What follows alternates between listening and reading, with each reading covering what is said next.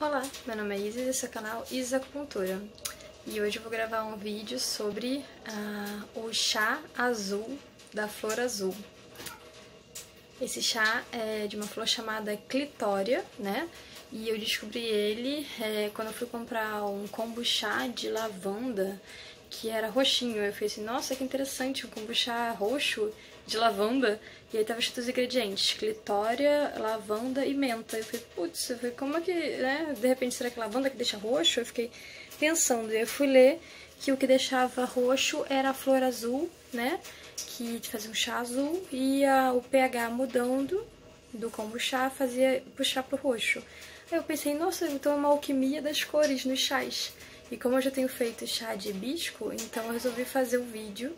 É, encomendei na internet, porque essa flor não é fácil de encontrar pra fazer chá. Encomendei na internet numa loja chamada Fada Azul. E resolvi fazer os chás pra mostrar pra vocês a alquimia das cores com os chás. Chás coloridos. E o legal é que a gente pode usar eles para poder fazer bolo, fazer comida, fazer doces. São bebidas, são corantes naturais, então você consegue fazer várias comidas coloridas. É bom para criança. É, é, bem interessante assim para deixar essas comidas diferentes. E antes que eu esqueça, né? Vamos, se vocês puderem curtir o vídeo, se inscrever no canal e ativar o sininho de notificações. Vou mostrar agora aqui o, a caixinha com o chá que chegou. Chegou assim nessa caixinha, né? Eu vou abrir agora. Como diz aqui no informativo, cola naturalmente alimentos e bebidas, tem várias aplicações culinárias, é rica em flavonoides, antocianinas e antioxidantes. Flor da... Quem quiser comprar, tem essa loja, eu comprei essa daqui. A natureza alcança suas mãos. Eu achei muito legal porque essa pegada mágica, mística, né? Como que a natureza é interessante. Aqui são a, o pacotinho. Comprei 18 gramas, eu acho, foi isso, né? É legal que ele tem esse ziplock aqui, né?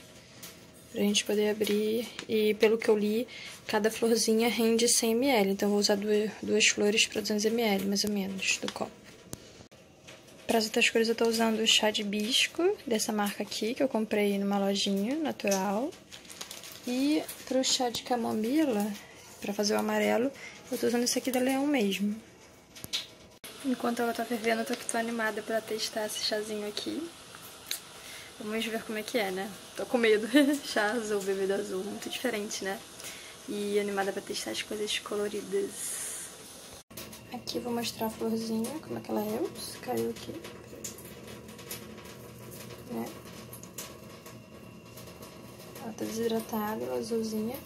Eu coloquei um pouco mais, eu coloquei quatro flores de hibiscos, um só de camomila porque eu quero concentrar mais a cor, que eu vou fazer as diluições depois.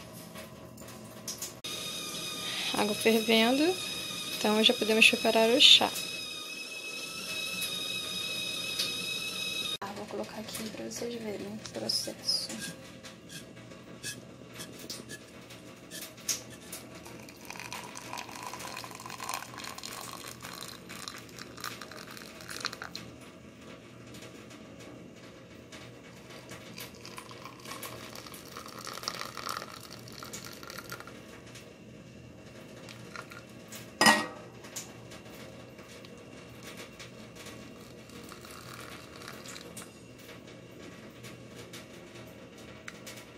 Pouquinho.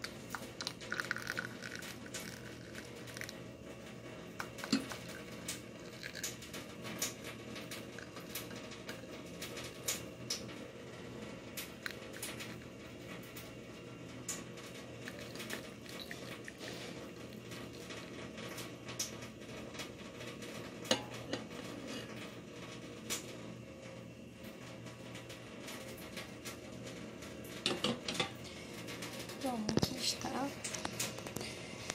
A cor foi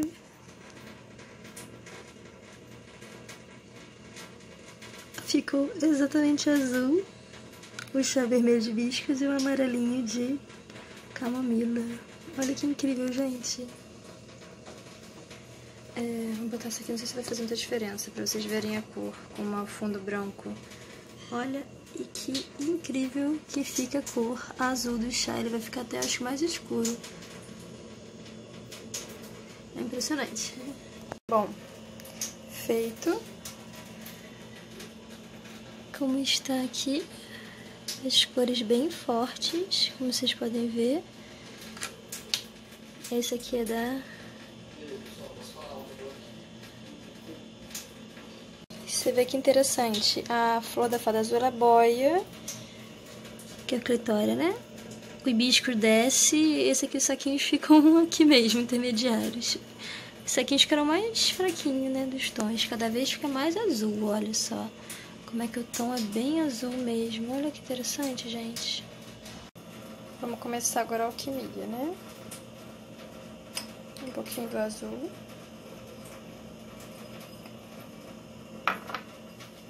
Um pouquinho do vermelho.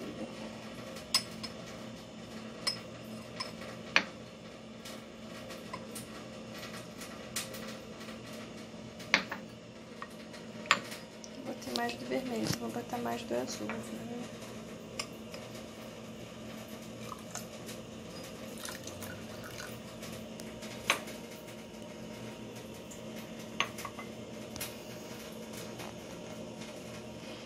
Agora sim, ficou um roxinho, né?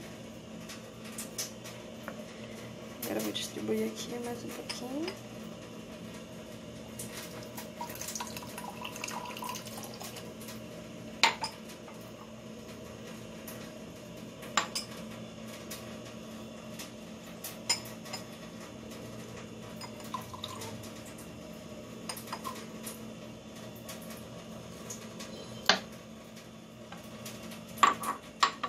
Fizemos um verde aqui.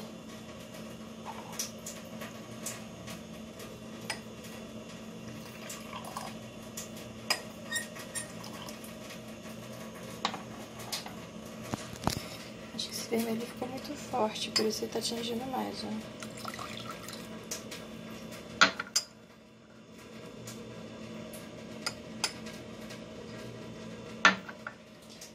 Agora, vamos ver agora a sequência. Que maneiro, gente.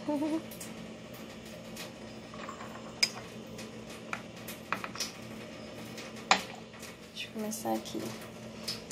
Bem roxo. Azul. Roxo. Azul. Verde. Amarelo se isso aqui daqui já.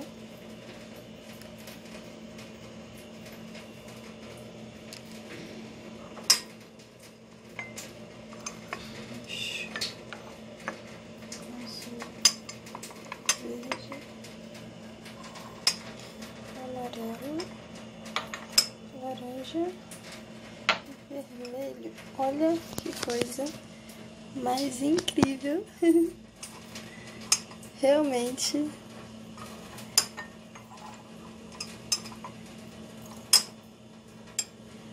Mas dá pra fazer um bolo de arco-íris já. dependendo da concentração, vocês veem que eu fiz assim de olho, né?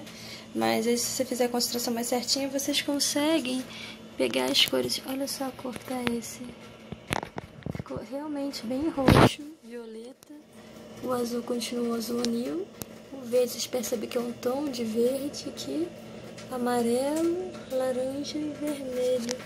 Olha que incrível.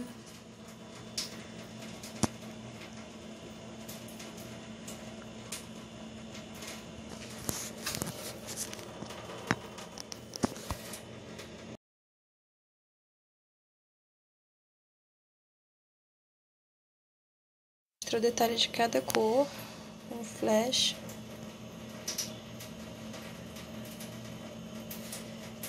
Olha só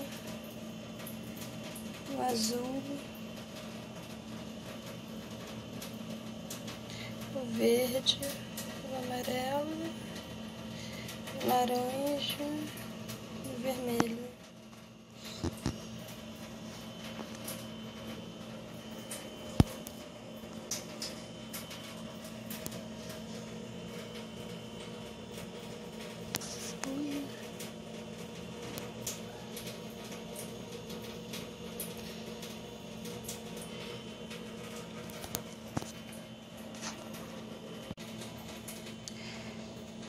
Em outro ângulo.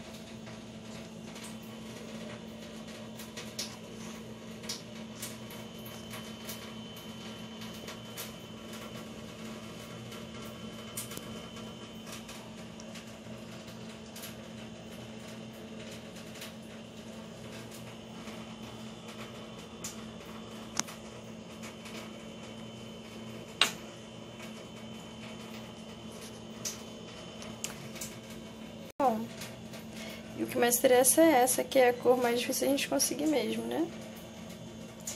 Então a gente deixa como sugestão. Você quer fazer uma gelatina, você pode fazer uma gelatina colorida, fazendo várias camadas de cores diferentes. É, são flores, eles já eles falaram lá no, no site que eles combinam, então não tem problema de combinar essas flores, aparentemente, sim, né?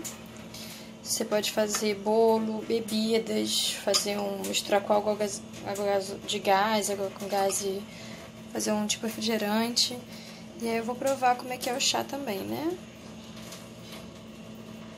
Muito legal. Agora bebendo chá, né?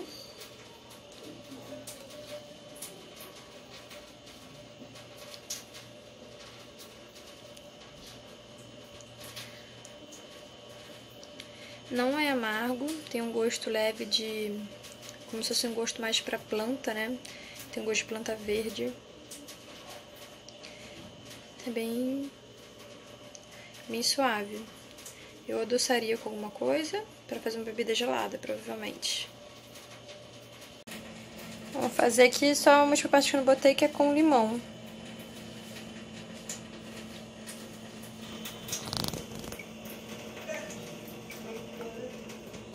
Olha só!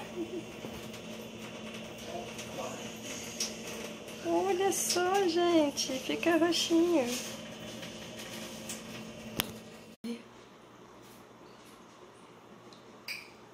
Ah, meu pé, cara. Porra é essa? A magia do chá. Ficando roxinho.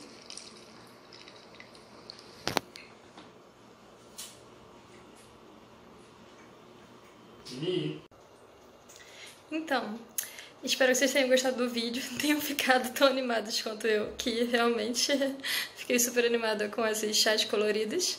É, se inscrevam no canal, curtam o vídeo e ativem o sininho de notificações. É, esse foi um vídeo diferente, né, de uma curiosidade científica né, e culinária. É, espero trazer outros vídeos de coisas interessantes para vocês. Se vocês tiverem sugestões, postem aqui nos comentários que tentarei trazer para vocês. Alquimia dos chás.